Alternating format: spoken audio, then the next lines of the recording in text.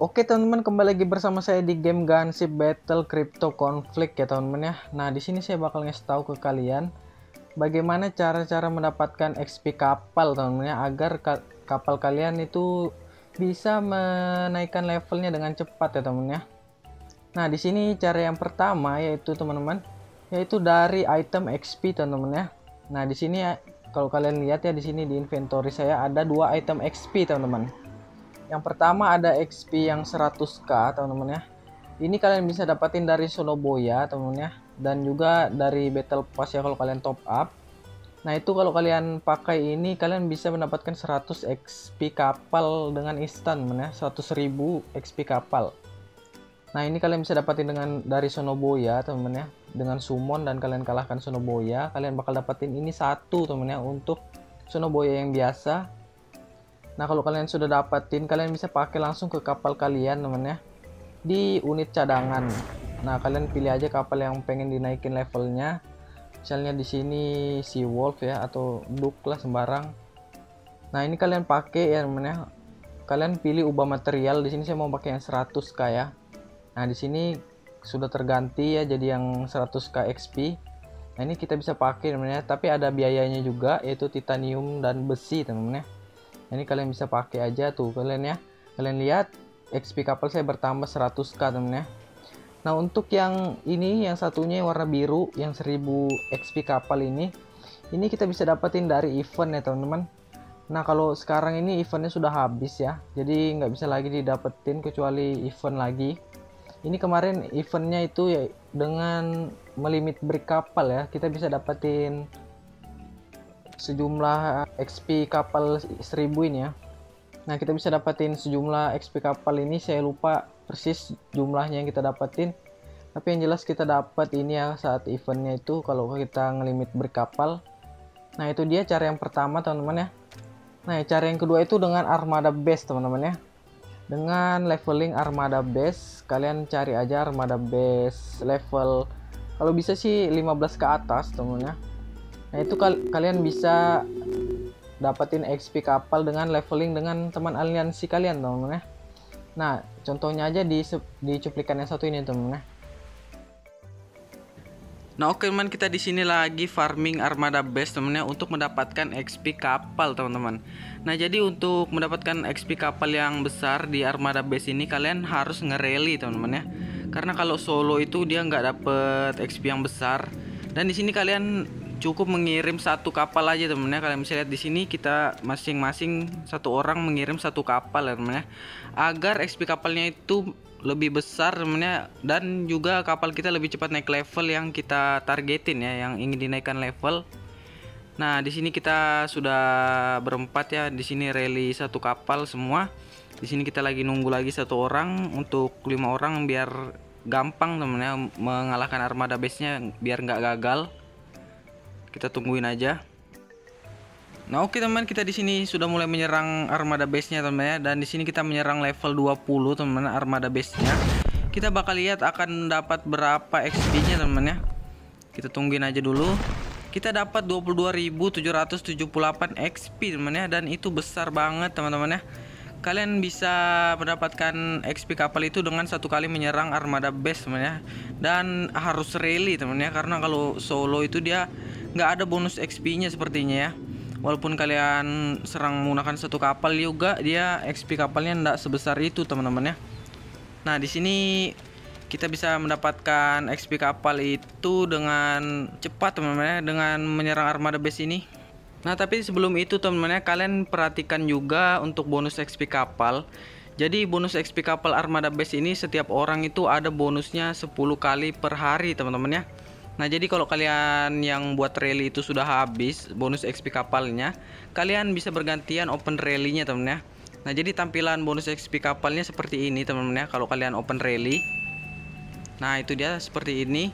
Nah kalau kalian lihat juga di rally teman kalian Kalau ada tanda seperti ini berarti dia masih ada bonus XP nya teman-teman ya Nah, cara yang ketiga teman-teman kalian bisa mendapatkan XP kapal yang lumayan besar juga dari deteksi klan teman-teman ya.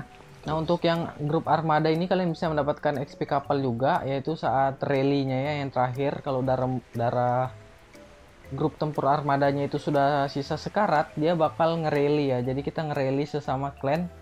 Dan itu saya di bintang 2 temen ya. Untuk rally-nya itu sekali rally dapat 5000 XP ya. Dan itu untuk 5 kapal jadi total itu 25000 XP sekali rally ya ya lumayan teman-teman ya 5 kali rally aja sudah dapat sekitar 125 ribuan ya. Nah, untuk yang deteksi kedua di sini pertahanan blitz ya. Nah, ini untuk pertahanan blitz kalian bisa cek lengkapnya aja di konten saya sebelumnya teman-teman yang membahas tentang pertahanan blitz.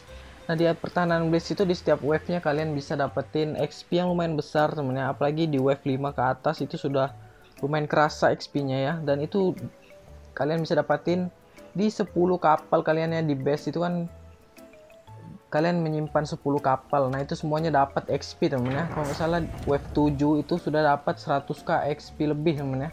Dan itu untuk 10 kapal ya. Jadi total sejutaan temen ya. Sejuta XP satu wave nya itu ya. Kalau sudah level 7 ke atas atau wave 7 ya wave 7 ke atas nah cara yang keempat teman-teman ya. Cara yang kurang efektif sebenarnya tapi ya kalian bisa juga mendapatkan XP kapal dari cara ini yaitu dengan membunuh atau menghancurkan armada fleet atau kapal armada ya. Ya kalian bisa hancurin kapal armada dengan exterminate teman-teman ya. Nah ini buat kalian yang solo-solo ya. Kalau kalian aliansi kalian jarang rally armada base untuk leveling kalian bisa armada fleet aja ya. Memang mungkin XP nya kurang banyak temen ya tapi ini salah satu cara ya kalau kalian pengen solo mau cari XP atau untuk armada base juga bisa solo sebenarnya cuman XP nya itu sama aja kecil ya temen ya karena kalau rally barang teman-teman itu kan bisa di GB temen ya satu kapal tuh bisa langsung 25.000 XP dan juga ada bonus kap bonus XP nya temen ya kalau rally nah jadi di sini kita bisa exterminate aja langsung kapal armada ya. Di sini saya exterminate level 26 sampai 30. Karena untuk level 31 sampai 35 saya belum kuat untuk exterminate ya teman ya. Tapi udah clear sebenarnya, tapi belum kuat untuk exterminate. Dan di sini kita tungguin dulu 3 menit ya teman-teman.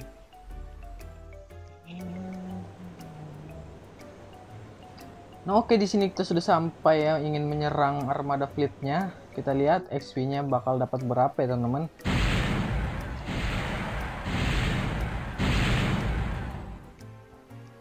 Nah, di sini dapat 490 XP teman-teman untuk level 26 ke atas ya.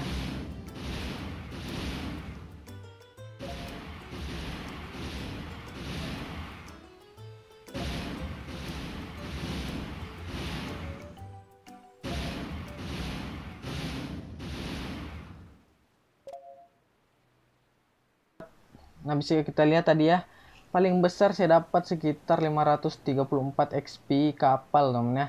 Nah itu sekitar 6 kali serang temen ya karena armada fleet ini kan isinya biasa 6 sampai 5 gitu ya 5 sampai 6 nah jadi kalian bisa dapetin sekitar 300 3000 XP temen ya. Dan itu bisa lebih kalau kalian mengetek levelnya yang lebih tinggi lagi ya temen ya nah lumayan 3000 XP itu kalian dapetin di 5 kapal ya. Jadi totalnya itu 5 kali 3 itu 15.000 XP teman sekali sekali exterminate teman ya. Dan itu membutuhkan 30 stamina teman ya.